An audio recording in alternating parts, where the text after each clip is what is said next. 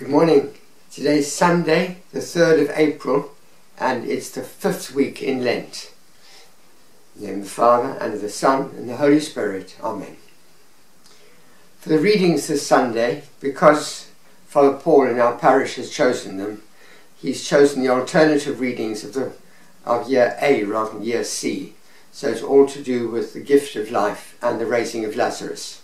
If, so if you're following in a Universalis or in some other missal, look at year A rather than year C.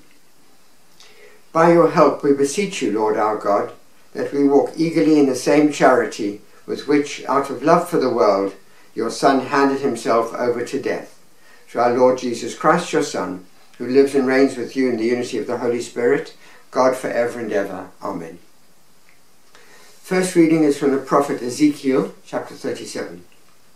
The Lord says this I am now going to open your graves. I mean to raise you from your graves, my people, and lead you back to the soil of Israel. And you will know that I am the Lord when I open your graves and raise you from your graves, my people. And I shall put my spirit in you, and you will live. And I shall resettle you on your own soil, and you will know that I, the Lord, have said and done this. It is the Lord who speaks. The word of the Lord. The second reading is from the letter of Paul to the Romans, chapter 8. People who are interested only in unspiritual things can never be pleasing to God. Your interests, however, are not in the unspiritual, but in the spiritual, since the Spirit of God has made his home in you. In fact, unless you possess the Spirit of Christ, you would not belong to him. Though your body may be dead, it is because of sin and if Christ is in you, then your spirit is life itself because you have been justified. And if the spirit of him who raised Jesus from the dead is living in you, then he who raised Jesus from the dead will give life to your own mortal bodies through his spirit living in you. The word of the Lord. In the Gospel is Gospel of John, chapter 11. There was a man named Lazarus who lived in the village of Bethany with the two sisters Mary and Martha, and he was ill. It was the same Mary, the sister of the sick man Lazarus, who anointed the Lord with ointment and wiped his feet with her hair. The sisters sent this message to Jesus Lord, the man you love is ill. On receiving the message, Jesus said, This sickness will not end in death, but in God's glory, and through the Son of God, will, and through it the Son of God will be glorified. Jesus loved Martha and her sister and Lazarus. Yet when he heard that Lazarus was ill, he stayed where he was for two more days, before saying to the disciples, Let us go to Judea. The disciples said, Rabbi, it is not long since the Jews wanted to stone you. Are you going back again? And Jesus replied, Are there not twelve hours in the day? A man can walk in the daytime without stumbling, because he has the light of the world to see by. But if he walks at night, he stumbles because there is no light to guide him. he said that and then added, Our friend Lazarus is resting. I'm going to wake him. The disciples said to him, Lord, if he's able to rest, he is sure to get better. The phrase Jesus used was referred to the death of Lazarus, but they thought that by rest he meant sleep.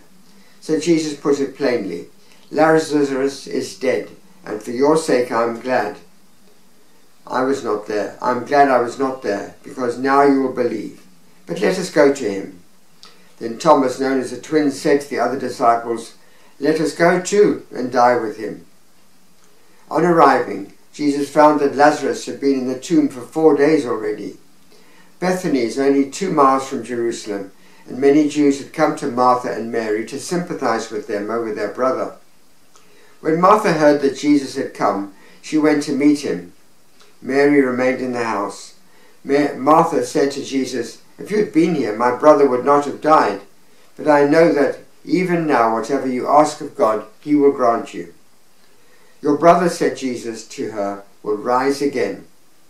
Martha said, I know he will rise again at the resurrection on the last day. And Jesus said, I am the resurrection and the life. If anyone believes in me, even though he dies, he will live and whoever lives and believes in me will never die. Do you believe this?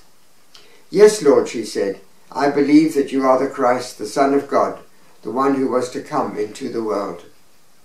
When she had said this, she went and called her sister Mary, saying in a low voice, The Master is here and wants to see you.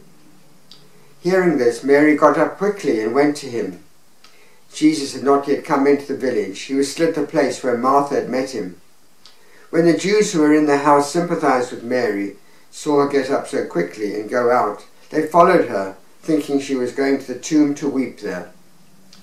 Mary went to Jesus, and as soon as she saw him, she threw herself at his feet, saying, Lord, if you'd been here, my brother would not have died. At the sight of her tears and those of the Jews who followed her, Jesus said in great distress with a sigh that came straight from the heart, Where have you put him? They said, Lord, come and see. Jesus wept, and the Jews said, See how much he loved him. But there were some who remarked, He opened the eyes of the blind man. Could he not have prevented this man's death? Still sighing, Jesus reached the tomb. It was a cave with a stone to close the opening. Jesus said, Take the stone away. Martha said to him, Lord, by now he will, be, he will smell. This is the fourth day. Jesus replied, Have I not told you that if you believe, you will see the glory of God? They took away the stone.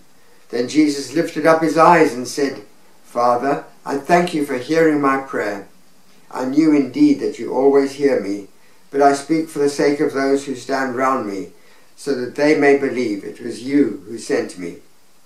When he had said this, he cried in a loud voice, Lazarus, here, come out.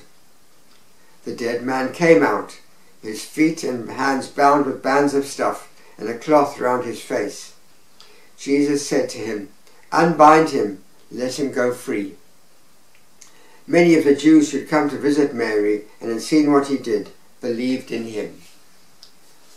The Gospel of the Lord. The readings are long today, but they make the points well, and I will dwell on them briefly. First reading, one from Ezekiel, is the great vision of the valley of dry bones. And the Spirit of God comes, put fleshes, puts flesh on the bones, and brings them all back to life. And this is seen not only as a promise of the resurrection of Israel, um, right now it's, they're all in exile and there's no hope of the future, and this is a promise of the future um, that there will be new life and resurrection. Then the second reading from Romans is about how the Spirit of God gives life, and that even though you die, the Spirit of God is in you, and therefore you will have eternal life if you lead a life close to God in this world. The Gospel is the heart of today's message. It's the long Gospel from John, all about this great sign of Jesus. Jesus did six, seven signs in John's Gospel, showing who he was, what he came for, and what he can do.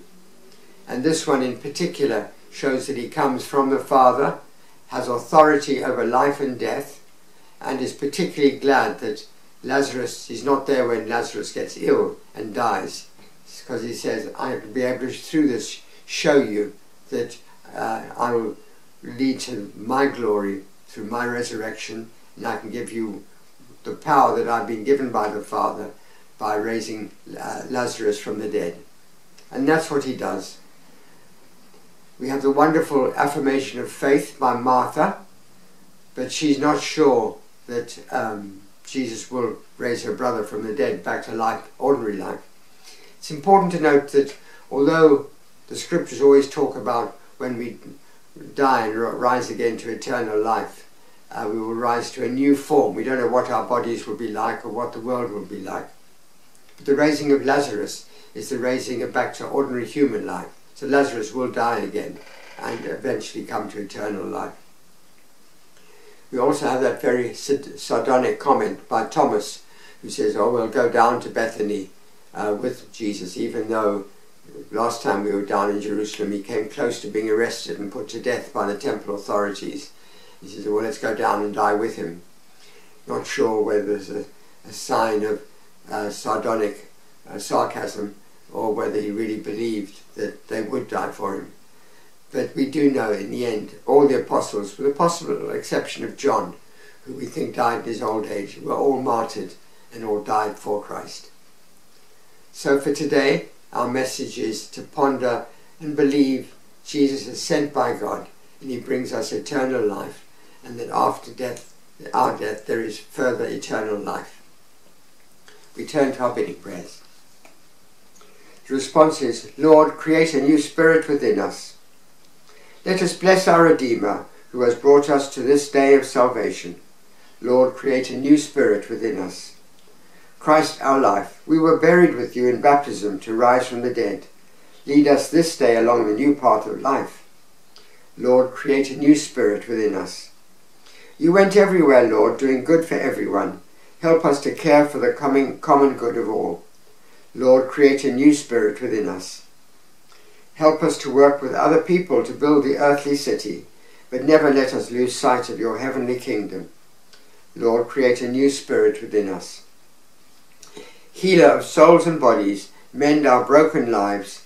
Let us receive all the blessings of your holiness. Lord, and create a new spirit within us. We pray, Our Father, who art in heaven, hallowed be thy name. Thy kingdom come Thy will be done on earth as it is in heaven. Give us this day our daily bread, and forgive us our trespasses, as we forgive those who trespass against us. Lead us not into temptation, but deliver us from evil. Amen. Lord our God, your Son so loved the world that he gave himself up to death for our sake. Strengthen us by your grace, and give us a heart willing to live by that same love. Through our Lord Jesus Christ, your Son, who lives and reigns with you in the unity of the Holy Spirit, God for ever and ever. Amen.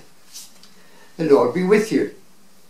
Almighty God bless you, the Father, the Son, the Holy Spirit. Amen. Have a good day. Have a good week. Today's Sunday, the beginning of our new week. Bye.